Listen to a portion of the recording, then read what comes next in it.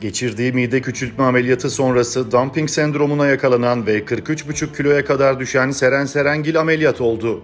Ünlü şarkıcının sevgilisi Mustafa Rahman Tohma operasyonun iyi geçtiğini söyledi. Seren Serengil bugün ameliyat oldu. Mustafa Rahman Tohma, Serengil'in ameliyatının iyi geçtiğini duyurdu.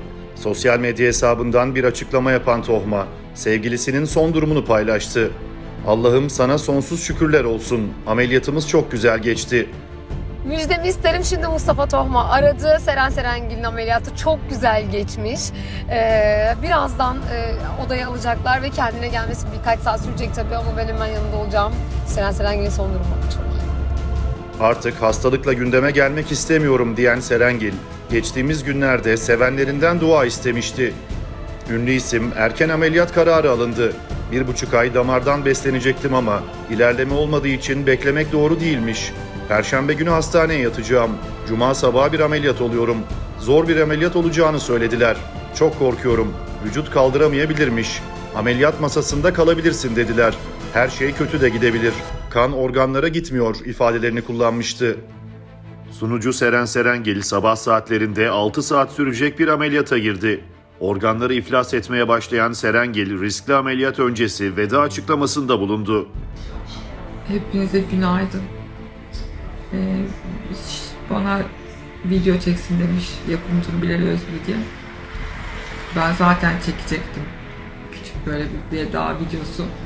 İnşallah her şey yolunda gidecek. Ee, birazdan ameliyat alınacağım.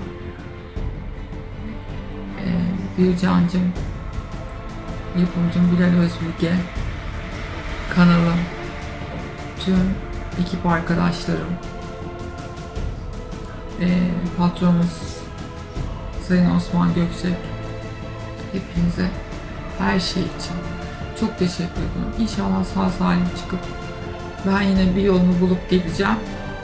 Ama olur da e, terslik olursa zor bir ameliyat. Organlar içeride yapışmış olabilir diyorlar. Seren Serengil'in sağlık durumu merak konusu oldu. Zayıflık uğruna ameliyatlar olan ve dumping sendromuna yakalanan Serengil günden güne eriyor.